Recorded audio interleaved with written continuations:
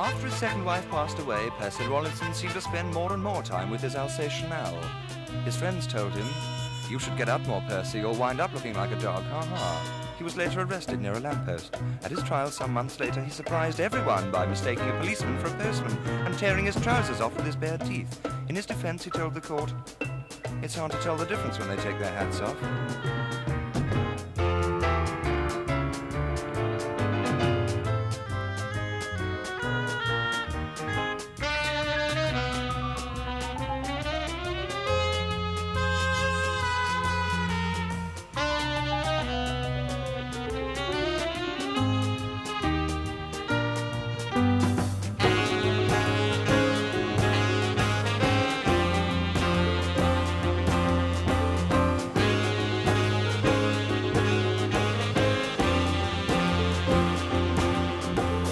Mrs. Betty Pench was playing the trombone when she heard a knock on the door. I wonder who that is at 11 o'clock in the morning, she thought.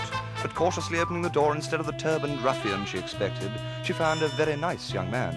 Mrs. Pench, you won the car contest. Would you like a Triumph Spitfire or 3,000 in cash? She smiled. Mrs. Pench took the money. What will you do with it all? Not that it's any of my business, he giggled. I think I'll become an alcoholic, said Betty.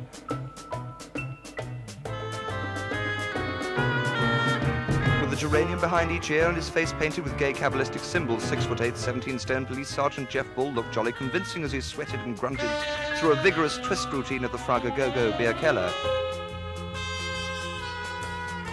His hot serge trousers flapped wildly over his enormous plastic sandals as he jumped and jumped and gyrated towards a long-haired man. Uh, excuse me, man, I have reason to believe you can turn me on. He leered suggestively.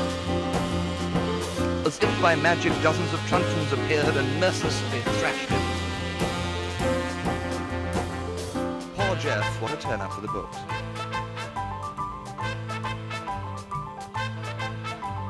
Much as he hated arguments or any kind of unpleasantness, Ron Sher thought things had gone too far when, returning from a weekend in Clacton, he found that his neighbour had trimmed the enormous hedge dividing their gardens into the shape of a human leg. Enraged and envious beyond belief, Ron seized his garden shears and clipped his white poodle Leo into a coffee table. That'll fix it, thought Ron, but he was wrong. The following Wednesday, his neighbour had his bushy waist-length hair cut and permed into a model of the Queen Elizabeth and went sailing. Everywhere he went, people said, hooray! Sometimes you just can't win.